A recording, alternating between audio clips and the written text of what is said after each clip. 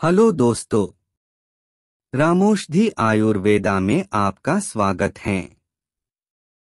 प्रकृति ने हमें अनेक अनमोल चीज़ें दी हैं, जो हमारे स्वास्थ्य के लिए लाभदायक मानी जाती हैं। व्हीटग्रास ट्रिटिकम एस्टिवम या आम गेहूँ की ताजी पत्तियों से तैयार किया जाता है। व्हीट ग्रास का सेवन शरीर में सभी ज़रूरी तत्वों की कमी को पूरा करने में मदद करता है। व्हीट ग्रास में विटामिन, प्रोटीन, मिनरल, फाइबर और एंटीऑक्सीडेंट के गुण पाए जाते हैं।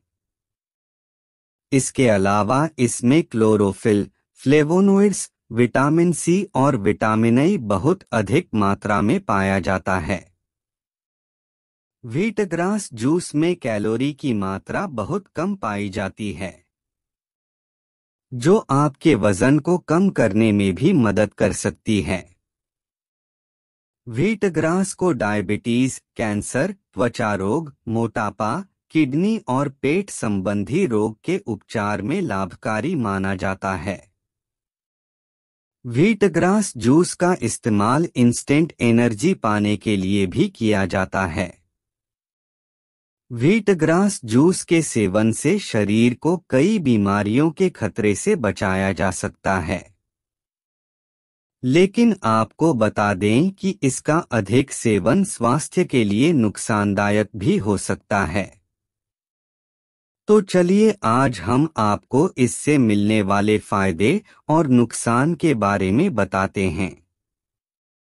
मोटापा आपको बता दें कि व्हीट ग्रास जूस के सेवन से मोटापे की समस्या को कम किया जा सकता है।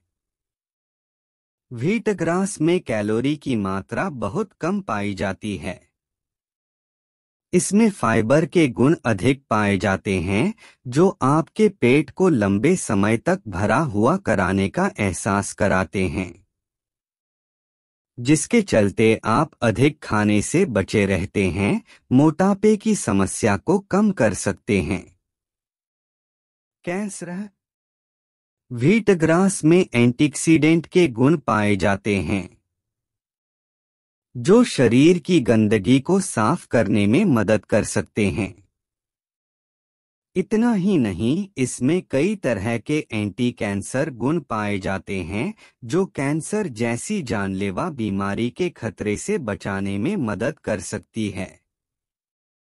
कोलेस्ट्रॉल व्हीट ग्रास जूस का इस्तेमाल करने से कोलेस्ट्रॉल के लेवल को कम किया जा सकता है।